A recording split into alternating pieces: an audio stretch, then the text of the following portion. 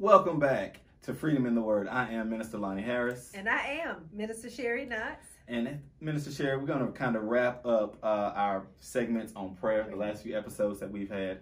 And this episode, we want to label entitled uh, "The Power of Prayer." Wow! Because I think what's most important after we Mm-hmm. talk about and discuss, you know, prayer, is look at some figures in the Bible to really discuss, you know, certain circumstances that they were in, uh, problems and predicaments that they faced, and how they called upon God and how God responded. You know, I think a lot of times that if we can look at those things, we can take them to Yeah. heart and put ourselves Yeah. in those same situations and scenarios.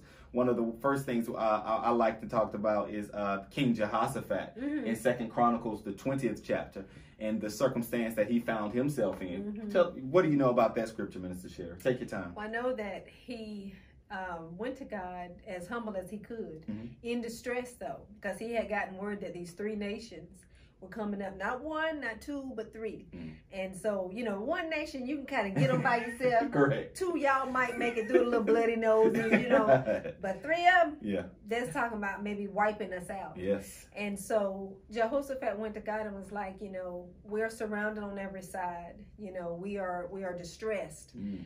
Um, he said, but we're not perplexed. Mm. But he said, but our eyes are on you. Mm. So because he knew where his help was coming from, he knew that that was the only only way he was going to make it through Correct. was with God. And and if I'm not mistaken, God fixed it, and then people turned on them on themselves. Yeah. And a lot of people don't realize that's what God will do to your enemies. You know, to the person that I'm ministering to, because I've been there. The person that I'm ministering to that's watching this, and they and they ganging up on you at your job. People Mm. talking to each other, don't even like each other.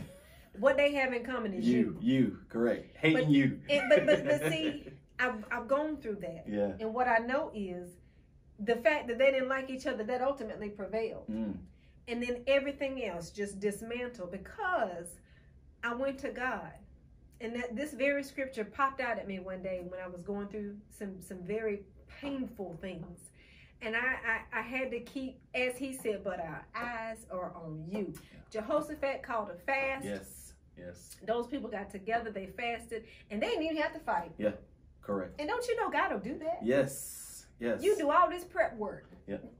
he per planning and how you gonna respond, what you gonna do, what you you got you, you sit in your car made up in your mind, what you What gonna you- say when you get in there. And if they say you've already you already created your own narrative everything, on how it's gonna play out. you the judge, jury, and the excuse. And that's correct. But God, God, God Yeah. brought the people through, Yeah. and they didn't even have to. We See, that's the kind of God we serve. That's what prayer will do, and as you said so eloquently, consistent prayer. Mhm, That's what consistent prayer will do is take away the worry. Mhm. God doesn't want us to worry. You know, there's a saying: to trust is not to to worry, and to worry is not to trust. Okay. And so, if we can keep that straight, and that's not in the Bible, Okay. It's the same. It's the same. Correct.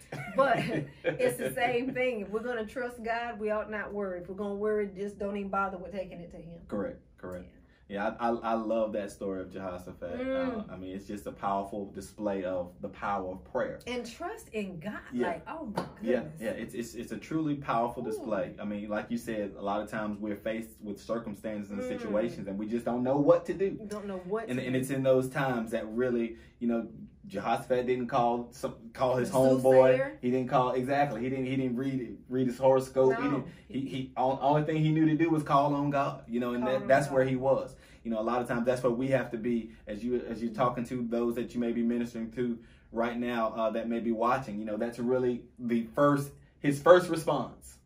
His first response was say, "Hey, look, I'm calling on God." Yeah, and that's really what y'all think. that that's got to be our response when when trouble arises. Um, that's got to be that should be that should be our first, first response. response. Absolutely. One of the next people that I loved uh, about the power of prayer was Hannah. Mhm. You know, and Hannah. I, what I liked about Hannah Mm. i- is before we get into all that took place is that the word tells us that she was praying is like as though no words No were words. coming out. It was it was that painful. Yes. Oh, yeah, they got real. Yeah, it. what she was going through because she was being picked on. It for those that know the story of Hannah, First Samuel, the second chapter, she was without a, a, a she wanted a, a, a son. Yeah. She wanted a son, and and, the, the, the other person had a son, uh, Mm-hmm. P- Paniah. I can't remember that person's name. Something like that. Uh, but they and, and so they were mocking Hannah. Mhm. They were ridiculing Hannah. Mhm. You know, they were laughing at Hannah because she was without a She son. was without a son, doing what it took to get a son. Correct. But not getting the blessing, not re- not reaping the blessing. And, And her husband even said, you know, well, aren't I better than you than ten sons? You know, yeah. and it's still, even though I, I imagine that it was supposed to be salve Mhm. for her womb, it did nothing for No. that desire of No. her heart. No. And the fact that, you know, the Bible don't say it, but I know Hannah had to say at some point, God can do anything. Have you ever been there? No. When you've been praying and this prayer been answered, and you go, God, you can do anything. Why won't you hear this? Why won't you answer this prayer? Correct, correct, correct. So Hannah, I mean, she just the Bible talks about how she was in, in the temple and praying and, and and how it was though her, her her mouth was moving, But, there were but no were no words. So I can't even imagine Mm. I can't even The imagine depth a- of a- pain. absolutely that words weren't weren't even being vocalized. She was just Yeah. you And the know. priest said she was drunk. they, they thought there was something wrong with the woman. But she had some words then, didn't They, she? they, they thought it was something wrong with Yeah. the woman. But we ultimately, what I saw, what I liked about that is that how God responds. You know, even when we're in pain, you know, God sees that pain. Mhm. God knows how we feel when we Mhm. can't even vocalize. We can't even Mhm. verbalize Mhm. what we're going through. We can't even verbalize how we feel. We can't even verbalize our emotions, our pain, our thoughts around Mhm. whatever it may be that we're carrying to God. And we see God responded to that prayer. And God blessed Hannah with a He gave her exactly what she asked. for. Absolutely, He he took did. her at her word. He did. Yeah. He did. What about uh, uh, another scripture, Minister Sherry, is uh, the prayer of Jonah. Uh huh. And, and the Bible talks about how Jonah was how Jonah prayed from inside of the fish. You know, after after Jonah had gone his own way. Blatantly. Yeah. Oh, oh, absolutely. On his own accord, on his own, yeah. will. Yeah. You find the scripture in Jonah, the second chapter, Mhm. how Jonah went his own way, was Yeah. disobedient to God, found himself in a place that he did not want to be. Had to pay a fare to get there. He- he- See, a lot of people miss that. Had Wow. to pay for it. Had to pay to get there. Yeah. He paid the price. Yes, didn't he did. Yeah. Twice. He paid in, in money and he paid by being in that way. Absolutely. Absolutely. Yeah. But But the- then when he called upon God. yes. Yeah. He said, In my distress, I Mhm. called to the Lord, hmm and he answered And me. he answered. From deep in the realm of the dead, I called for help, and you listened to my cry. Yep. There's somebody out there right now. There's somebody right now That's right. that's in the depths of Yeah. whatever they're in going through. belly. Absolutely. About to get swallowed up. Absolutely. You feel like there's nowhere to go but die. Mm-hmm. You feel like there's nothing to do where you are but to die, but to give up. Jonah called on God from that very predicament, Mm-hmm. And God allowed him to live. And the whale spit him out. That that fish, that whale spit him out of there, sick on the stomach. and, and, and Jonah got quickly about God's business. Yes, he did. Yes, quickly. He did. Look, I don't, you don't have to do that to me no more. You ever had it? Something like that? God, thank you, thank you, thank you. I'm doing it right now. Absolutely. Yeah, before I can even get out of what I'm in, I'm gonna go ahead on and do what God told me to do. What I like about that scripture, Mr. Sherry, is God. The, the word says, "And God spoke to Jonah a second time." Uh-huh, yeah. you know. Um, no, no, I, I, I heard you. I, I got it. I, I didn't have time to think about it. Jonah said, I, I got it this time. I, I, you done had time to think about it. Said, so- so I, I might have missed it the first Yeah, time, but but you speaking the second time, I got it now. Matter of fact, I done wrote my speech out to these people. Correct. And so I, I just think about, I look at that and, and look at the mercy of God. Oh my goodness. As we pray to God, Come God is so merciful. he does not. God is so Mm. merciful. He's so forgiving. Yes. He gives us another opportunity, Yes. even when we mess up the first, second, third, fourth, Yeah. a one hundredth God, time. if you give me another chance, I won't mess it up. We messed that one up. Absolutely. God, if you give me another Absolutely. But that's our Father. It is. That is His unconditional love It for is. us It is. that we can't pay for. Like, Correct. Come on now. Correct. We can't beat Him. Yeah. So so so I, I love the, the powerful response into Jonah's prayer and how God responded. The final one that Minister Sherry I had was coming from uh, Matthew the 14th chapter. We Mhm. talked about Peter and how Peter was walking on the water. On the water. Uh, Walking on the water. My Mm. challenge to everyone today is I dare you to go go out to your nearest body of water and go, and try walking on it. Yeah, See how that get- works. I ain't See how that ain't out for you. embarrassed, okay?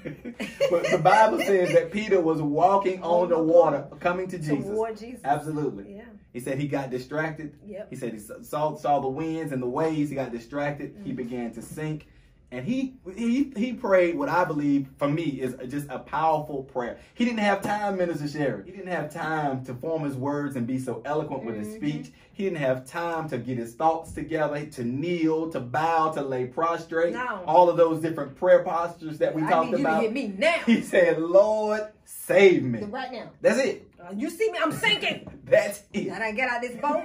Look, and you know the um, other disciples oh, had me laughing at him. I, I think the same thing. I said this. I always feel the same way. Say, look at that fool. He, he had to get out. Look he, at that had, fool. he wasn't content with seeing Jesus from the boat.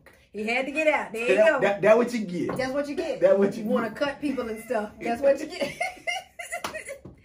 But guess what? but Eh, But guess what, Minister Sherry? what happened? Even, even, and, and that's what happens to us sometimes. Yes. We find ourselves in predicaments and situations that we asked to be in. Didn't we ask? People are laughing at us. You wanted to get on out there. Now look at you. They got the kick me sign on the back. They they trying to kick you while you're down. Yeah. Instead of reaching out, they're trying to help you up. Oh yeah. But those are the times that you can't. You realize you can't call on your friends. Peter Cho didn't call on none of them. No, none of them folks in the boat. Y'all throw me a life raft. He didn't call on none of them. He said, "Lord, save me." Lord save me. And and that's what I think is just so powerful. He realized in that moment that God is here with me. Mhm. Jesus is here with me. I've got to call on Him, and Mm-hmm. He can, He's able to save me. See, he knew where his help comes from. Absolutely. You know, and see, when you've been through something, you realize where your help comes Mhm. from, and you Oh, don't yeah. mind. I don't. You can be in a room full of people. Jesus, I need you. I need you. We were at my church in uh, Raleigh Mhm. that I used to go to. We had a Awana for the kids, and they had gone to the competition. Okay. And it was a, it is this child now. A child was uh, struggling with remembering the scripture because Oh, I want wow. to teach them all kind of scripture. That, that little boy said, "Lord, help me. Mm. Lord, help me." In front of the whole assembly. Yes. He was unashamed. But see, that's what Awana is. Approved workmen are not ashamed. Okay. And he, he knew that he didn't have to be ashamed to call upon the name of the Lord. And that's what he did, and God helped him. Wow. Wow. Yeah. Yeah. And so ultimately, Minister Sherry, as we're talking about the power of prayer, you know, I know we can all certainly speak from our own personal standpoints. We all have our own testimonies, but I think it's a, a lot of times good to just, you know, uh, look at the, the, the individuals in the in the Bible, Mhm. look at their prayers and how God responded to their prayers, um, and, and just see how God just moves on their behalf. Oh, oh, while we're on it, does God hear sinner prayer? Do you, Mm. that is a let me tell you this. Come on. That question is Come so important. And here's my, here's always been my response to that question. Hmm. I've been a sinner. Come on. I've prayed. Huh. And God has answered my Come prayer. on now. Come on now. so I can't speak for any other sinner. Mm. I'll speak for myself. Yes. Now, here's the question. Was God answering my prayer? Was he answering my mama's prayer? Come Was on. he answering someone else's prayer? It does not matter. He answered. He answered prayer. And then the other thing of it is, if we're saying that God sees and hears everything, Oh, yeah. that, does that not solve that dilemma? And the Bible tells us that God rains on the just as And well the as the unjust. So we can't we can't we can't make ourselves to be so high uh, than, than someone that that that is not uh, maybe in fellowship with God. Right. God has no respecter of persons. That's right. You know, God does not play favorites. That's right. You know, so and, and I mean that's just what I believe. And so with that being said, I truly believe that sinners can pray and do pray and will Uh-huh. pray and God will hear and respond to their prayer. What are your closing thoughts, Minister Sherry, regarding not just this episode, but the entire series regarding prayer? My closing remarks on prayer is keep praying, Mhm. keep fasting, keep believing, keep seeking God. And as you pointed out in one of the episodes, pray the word of God Mm. Because the word is not going to change, Yeah. right? Yeah. The grass fades, the flower withers, Mhm. but the word of God is going to remain. And so we know that that's our power source, that's Correct. our help. Correct. And God's word, guess what? It ain't going to change. Correct. Mm-hmm. It's not going to change Yeah. just because it's not popular today. It's not going to change. It's something that we can stand on in all types of weather. Yeah. I, I- think those are excellent uh, closing thoughts, and I, I won't add anything to those other than what I've said through the, the rest of these episodes. It's just let's get back to prayer um, as a body. Let's get back to prayer as individuals, you know, and just calling on the name of the God for whatever it is that we're going through, no matter how great, no matter how small. Ladies and gentlemen, we uh, petition you to like, comment, and share uh, our Freedom in the Word.